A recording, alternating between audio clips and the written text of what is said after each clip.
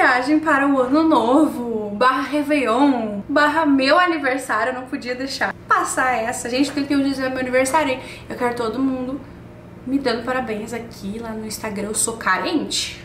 3.1 eu faço. Hoje a gente vai fazer uma maquiagem dourada, tá? Pra quem gosta de usar acessórios dourados, né? Gosta bastante do dourado.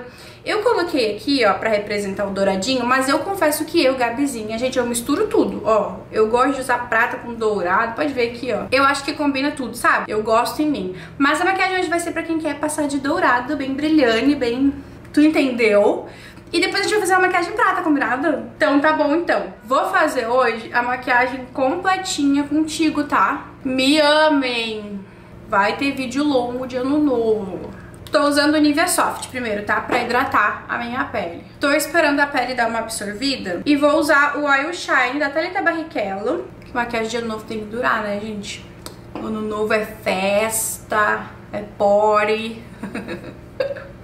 Vou espalhar com a minha mão mesmo por todo o meu rosto aqui, ó. Inclusive no lábio, tá? Todo hidratante, tudo que eu passo pra hidratar já vai no lábio também. Se tu tiver com o lábio muito ressecado, tu pode inclusive agora colocar uma manteiga de cacau, um hidratante labial, pra quando tu for aplicar o batom, a pele tá...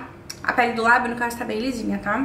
Mas depende de secagem. Vou usar o BT Hydra Primer. Vou dar um pumpzinho assim só o suficiente, tá? Vou colocar aqui, ó, mais no centro do meu rosto e vou espalhar pras laterais. Esse primer aqui eu já falei algumas vezes, mas não custa reforçar. Ele não é um primer que vai deixar tua pele assim extremamente lisinha, sabe?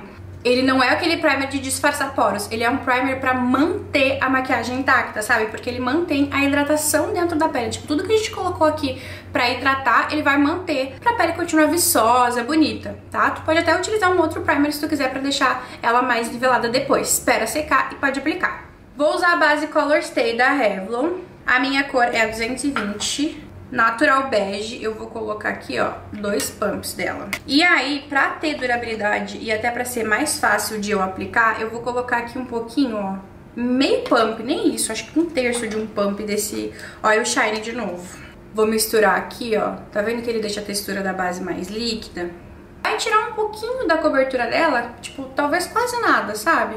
Eu não acho que faça muita diferença na cobertura, mas acho que faz total diferença na textura da base, sabe? Eu tô gostando bastante de base mais, mais viçosa e não base tão mate, tão seca, porque, né, gente, 31 tá aí, a pele da gente vai ficando mais ressecada, né, com o tempo. Quando a gente coloca uma base mate, muito mate, em cima das linhas de expressão, elas vão marcando.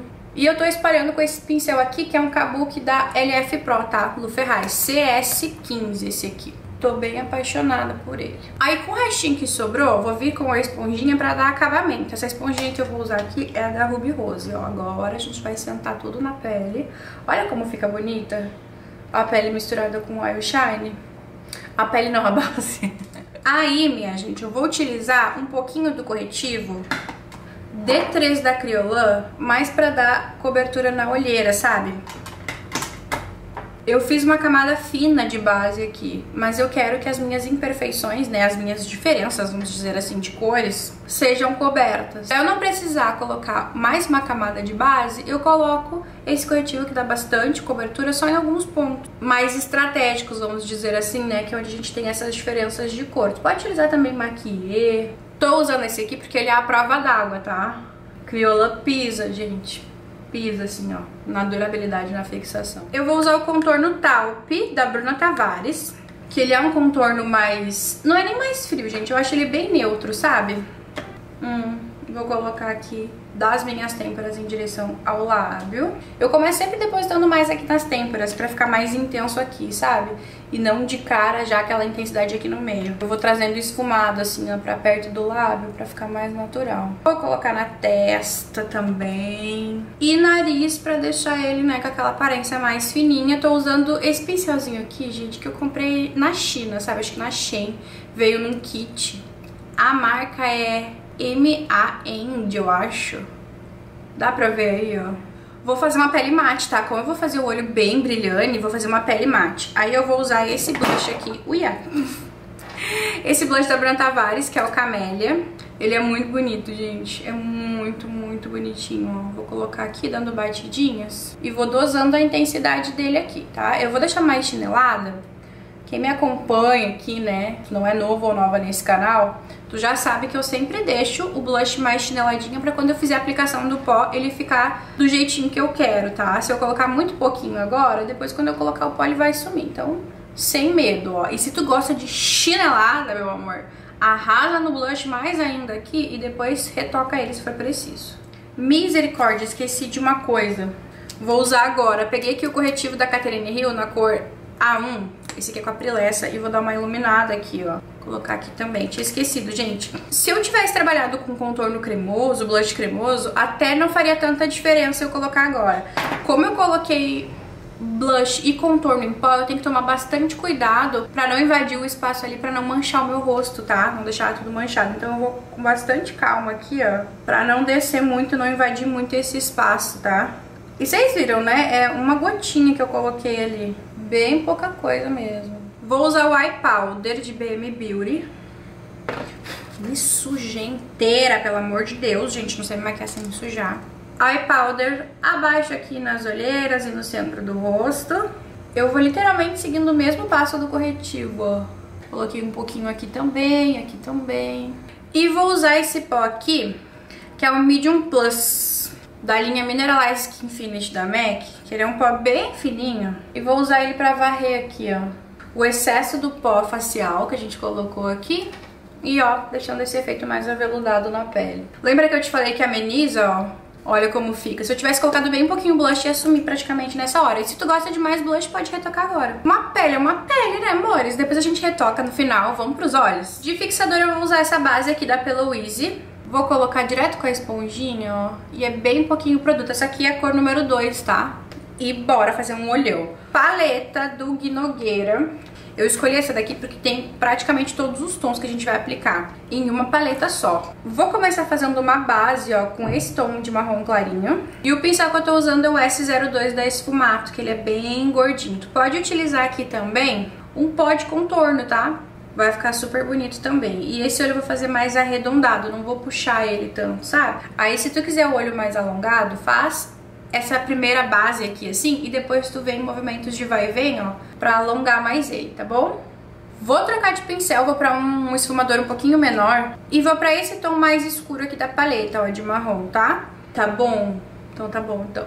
É muito engraçado que eu vou falando como vocês realmente estivessem aqui comigo. Esse marrom eu vou entrar dando batidinhas, ó, fazendo aquele C aqui no cantinho externo. Eu não vou subir muito com esse marrom também. É um pouquinho acima do côncavo. Não me passo mais que isso.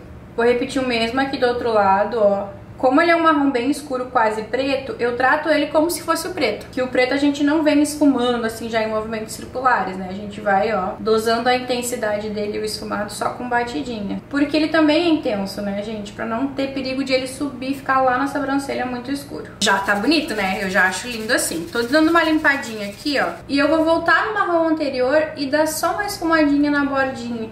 Pra eles se mesclarem super bem aqui. Pra dar aquele pá começar daquela cara de ano novo, eu vou no branquinho aqui da paleta.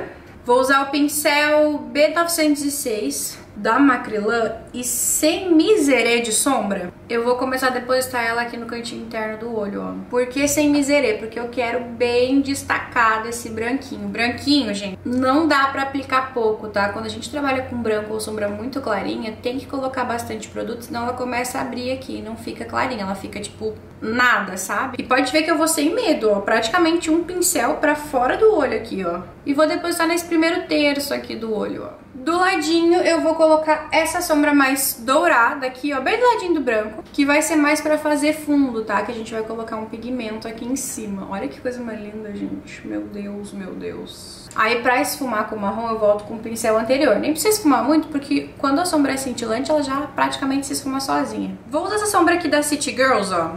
Metallic Ice, essa aqui é na cor 6, que é no dourado. E vou colocar bem aqui no meio, ó. Por que, que eu não coloquei ela direto antes, coloquei a sombra do Gui por baixo? Porque, gente, eu fiquei com medo dela abrir, por ela ser mais líquida, sabe? Então eu criei uma basezinha ali, bem bonitinha, pra ficar mais sequinho. E eu tô esfumando com ela mesmo, tá vendo? Eu vou dando batidinhas assim, ó. Porque se eu venho com o pincel e começo a fazer movimentos de vai e vem, o brilhinho meio que some. Eu quero ele aqui bem intenso, ó. E como eu não vim pra pouco nesse mundo, eu vim pra causar. Dá licença. Eu vou pegar um pouquinho da cola da Brutavares, a BT Glue. Esse pincel que eu peguei é bem grande, tá? Tu pode pegar um menorzinho aí, mas que seja de esfumar. E eu vou colocar, ó, entre o branquinho e esse douradinho que a gente acabou de aplicar aqui. Por quê? Eu vou vir com o pigmento da Secret Makeup. Esse é o SM64 e vou fazer um degradê ainda, ó. Pra deixar bem certinho. Pode invadir o espaço do branco e do dourado, ó, pra deixar o degradê bem bonitinho, tá vendo? Ó, aqui a gente ainda tem uma marcação, aqui a marcação sumiu. Como eu tô sem o meu lápis bege, eu vou colocar o BT Off-White aqui na linha d'água, ó, só que eu tirei bem o excesso, ele tá quase limpo esse pincel, tá? Eu peguei um papelzinho aqui, ó, e tirei bem o excesso pra ele não ficar escorrendo pra dentro do olho. Ó. E pra dar acabamento embaixo, vou vir com a sombra marrom, bem rente aqui a raiz dos cílios, ó mais no cantinho externo, até mais ou menos a metade do olho. Cuida pra dar acabamento aqui, ó, e tu unir a parte inferior com a superior, tá? E agora no meio, entre o marrom e o branquinho, volto com a sombra da City Girls. City Girls. e vou colocar aqui, ó, bem no meio, entre a sombra branquinha e o marrom. Aff, gente, tô amando esse olho. Vamos colocar um pretinho, só um pretinho no canto externo? Ai, não me aguento. Tem preto nessa paleta. Gente, essa paleta é muito versátil. Muito boa mesmo. Pincel 141 da Dye Makeup. E eu vou colocar bem na raizinha aqui, ó. Até porque eu não vou fazer delineado. E assim a gente consegue dar um contorninho a mais aqui no olho, ó. Não vou fazer delineado por dois motivos. Um, pra ser mais fácil. Porque pro ano novo tem que ser um delineado à prova d'água, né, meu amor? Ainda mais tá passando na praia. E segundo, porque eu tô com a extensão de cílios Aí eu não quero fazer delineado. Ui! Sempre com batidinhas, ó. Controlando aqui esse preto, porque quem manda é tu, meu amor, não é ele, entendeu? Sobrancelha, vou fazer um challenge aqui, ó. Tcharam! Sobrancelha feita. Usei essa caneta aqui que eu comprei no AliExpress, ó. Vamos finalizar a maquiagem com batom, então. Vou dar só uma limpadinha aqui, ó. Porque o batom é clarinho, tá? Pra ele não ficar muito branco com corretivo e pá por baixo. E vou usar esse batom aqui que é da Visela da linha Dog Lovers é o Shih Tzu. Como já tá olhão, hum, quis fazer uma boca mais nude. E vamos arrumar esse cabelo, né, pra gente finalizar esse vídeo.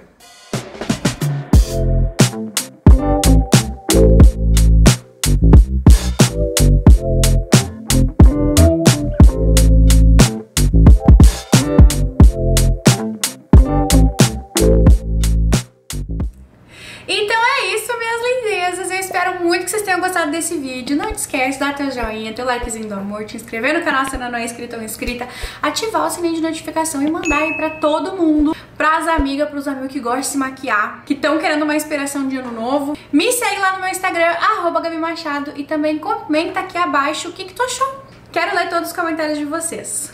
Um beijo enorme, tchau até o próximo vídeo.